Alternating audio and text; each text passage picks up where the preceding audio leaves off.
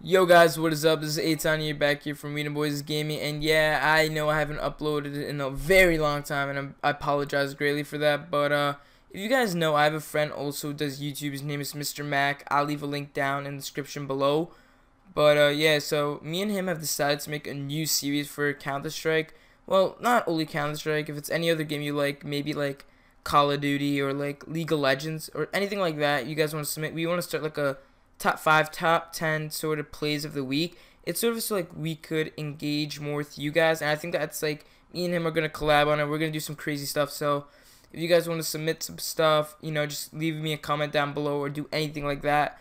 But anyways, from that, uh, I got really into this game, Counter Strike Global Offensive.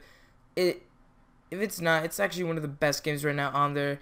It's right up there with League of Legends, Call of Duty probably already surpassed, surpassed Call of Duty already. It's, it's an amazing game.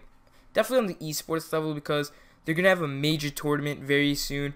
The Intel, whatever it's called, you know, KennyS, EnVyUs, TSM, all those teams are going to come together.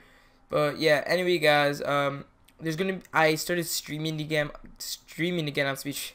Sorry, guys, for that. Uh, so if you guys want to catch me live stream, uh, I'm probably make another video, probably describing my stream schedule. I think I made one before, but that didn't actually follow through. This happened maybe for like one, two days, and it like never happened. But this this time I'm gonna do probably every day for an hour, probably around like nine o'clock Eastern time.